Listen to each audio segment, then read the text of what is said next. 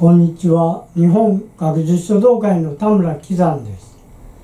今日も池田書店のいつでもどこでも使える四字三字熟語ハンドブックから四字熟語を選んでその解説文を読んでから後でその四字熟語を半紙に楷書、行書、草書、それと創作作品を書いてみます。今日の四字熟語は容姿端麗です。主として女性の顔立ちと体型がよく整っていて美しいこと。使い方は社員の採用条件に容姿端麗と記されている会社がある。それでは今から容姿端麗を会場で書いてみます。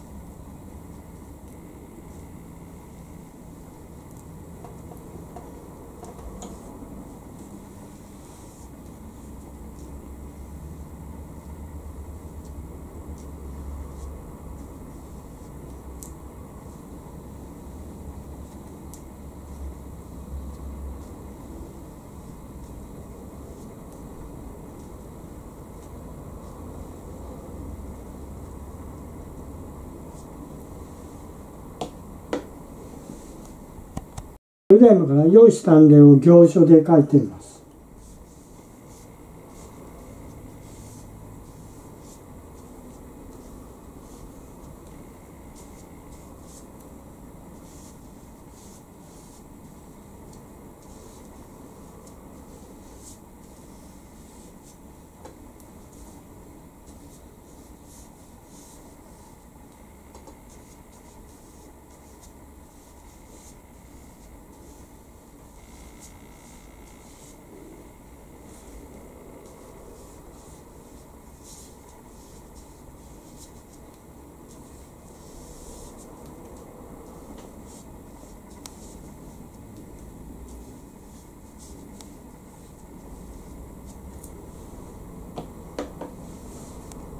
以前から用意したんでを草書で書いてるの。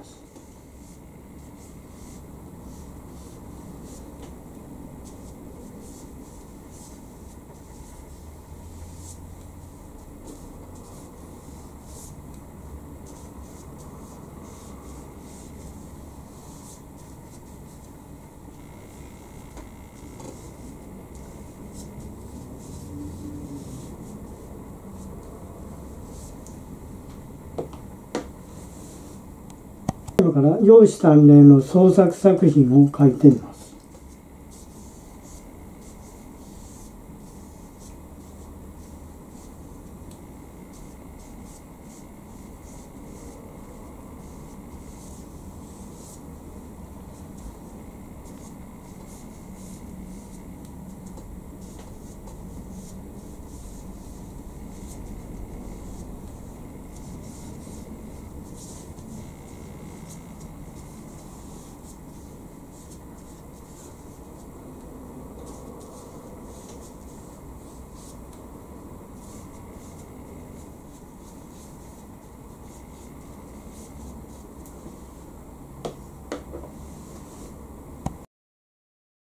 最後までご覧いただきありがとうございました。